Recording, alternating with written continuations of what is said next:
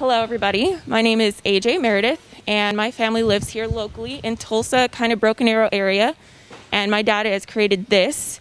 It is our uh, secret family formula called Meredith Maple Liqueurs. We're here at Park Hill Warehouse, and uh, we are. It's on 51st and Lewis.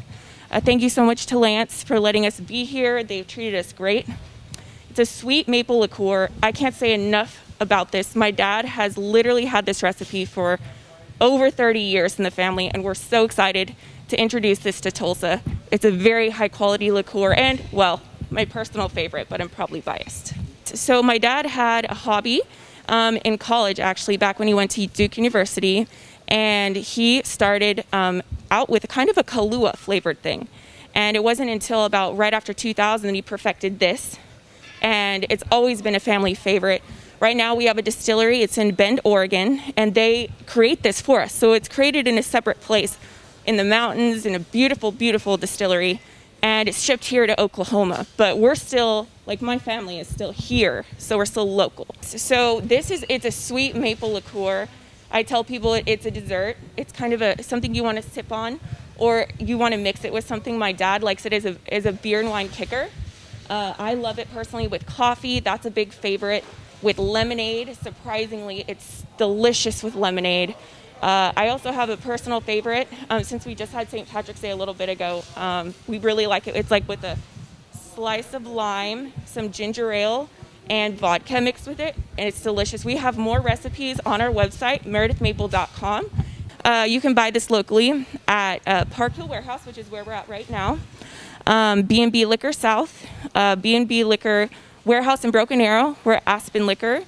Um, and also in Owasso, we have a few locations at uh, Liquids and Quenchers. And if you want to see more of our locations, we have them all listed on our website, and that's meredithmaple.com. So we are in restaurants, we're in bars. One of my favorite bars is um, White Crow Tavern, and that's owned by Dina. She's awesome. That's on Memorial and about 21st Street. Uh, yeah, we're also at Miami Nights, and I really love them. They've been wonderful to us. And uh, like I said, there's more restaurants and bars. If you would just want a complete list of that, go to meredithmaple.com. And it's just, we, are I think we're at 85 locations across Oklahoma now. So we're really happy and excited and proud of that. It was kind of like I, I got a master's degree in management. I always wanted to know what it would be like to own my own company. And my dad was like, you know, if you want, we could go ahead and try to put together a company. This was about five years ago and sell our liqueurs. And all my friends really loved this stuff. We would, you know, they'd come over, we'd have tastings, and they were always big fans of it. So I was like, you know what? It's worth a try. Like, why not? Let's just give it a try. So five years later, we're now distributed across Oklahoma.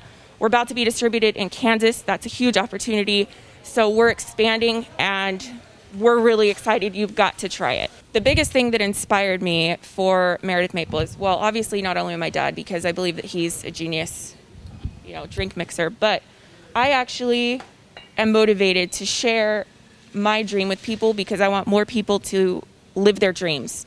And if I'm out here to, you know, at least inspire people that guess what, I'm out here, I'm a normal person. I'm not anything super great. I'm able to do this how much more can anyone else achieve their dreams and do great things, especially in Tulsa? Tulsa's a great place to live. We have so many opportunities here, and I just want more people to feel that passion, be excited, and live their dreams like I'm doing out here every day.